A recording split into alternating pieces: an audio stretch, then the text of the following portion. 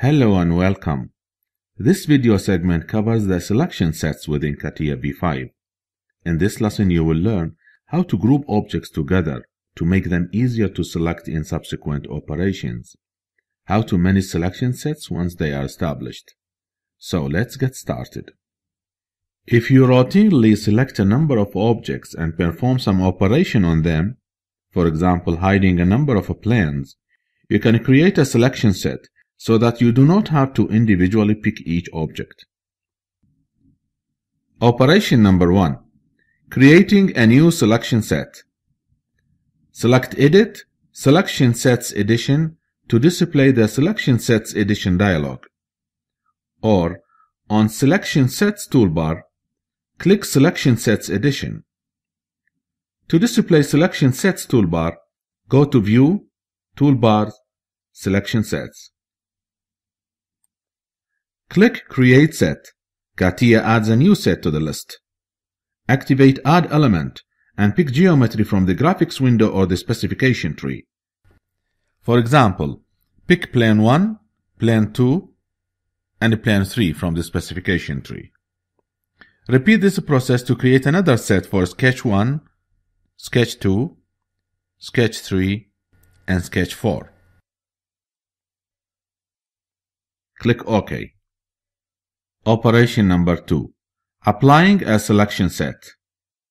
Select Edit Selection Sets to display the Selection Set Selection dialog. You can also click on Selection Sets from the Selection Sets toolbar to display the same dialog. From the list, pick a selection set. Click Select to select the objects that belong to the set.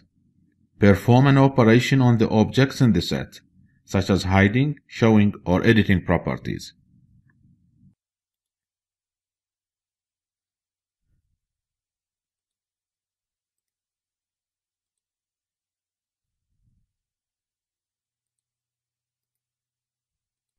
Options of Selection Sets Edition dialog.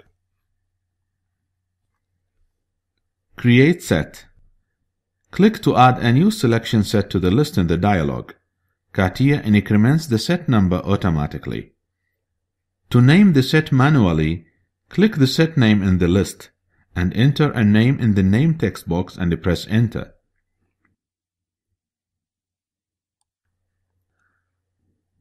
To rename a set, select it in the list, type in a new name in the text box and press enter.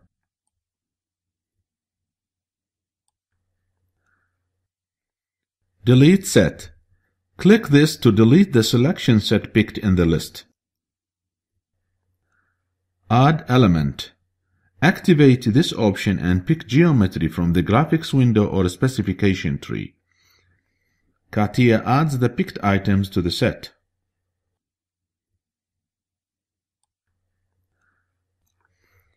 Remove element.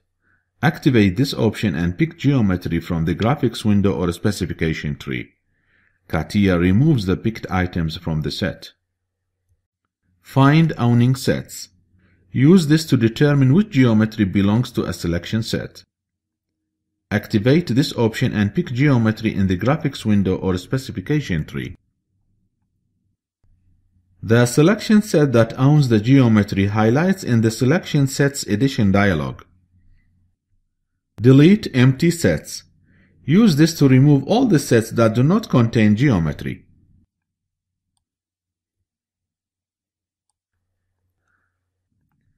Select a face, edge, axis or vertex. Use this to select these element types rather than selecting an entire part body or feature. That concludes this video. Thanks for watching and I'll see you next time.